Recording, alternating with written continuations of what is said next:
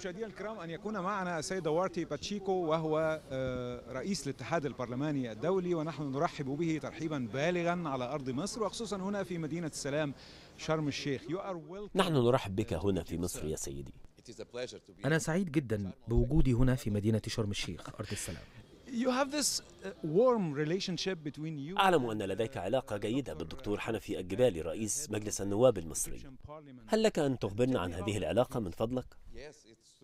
بالطبع نحن على علاقة جيدة للغاية. التقينا منذ عدة سنوات وشعرت أن لدينا توافق في الرؤى.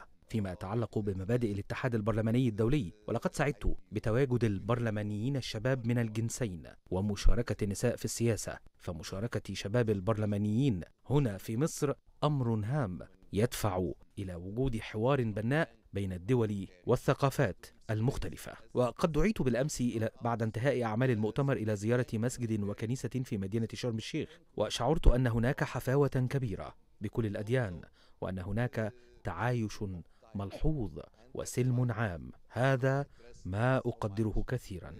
ما نراه في مصر هو الاستقرار وهو أمر هام للوصول إلى التنمية والتنمية هامة للغاية ليست فقط للمؤسسات الدولية مثل البنك الدولي ولكنها ستقدم حياة أفضل للمواطنين والشعوب.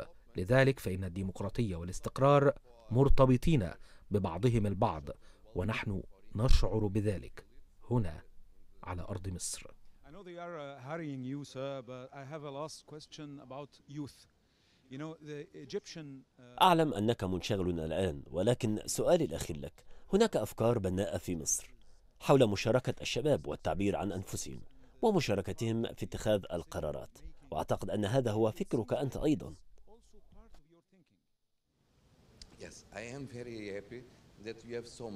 أنا سعيد جدا لرؤيتي الكثير من البرلمانيين الشباب. لقد تم انتخابي في عمر الخامسة والعشرين فإن الطاقة البرلمانية لدى الشباب أكبر كثيرا من نظيرتها لدى كبار السن. بالطبع الخبرة أمر هام والمعرفة التي نكتسبها بمرور السنوات هامة أيضا.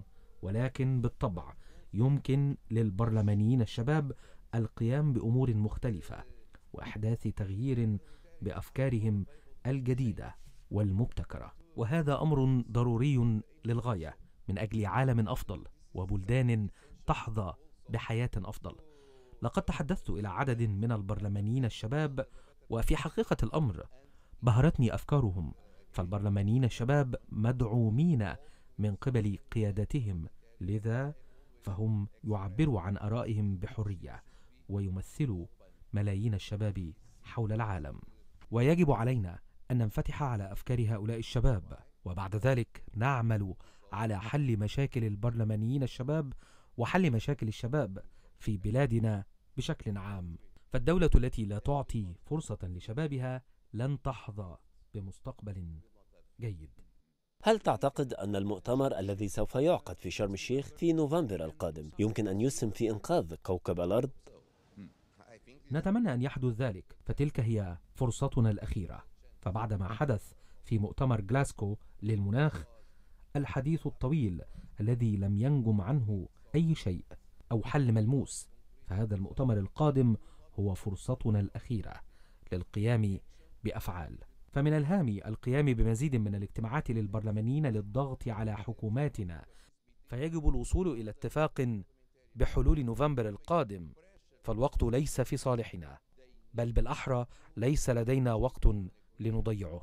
فالآن وقت العمل وهذا ما يجب أن يحدث في نوفمبر القادم هنا في مدينة شرم الشيخ.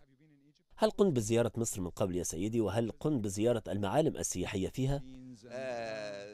لقد قمت بزيارة مصر منذ ثلاثين عاما وزيارة المعالم السياحية المقدسة فمصر لديها ثقافة رائعة.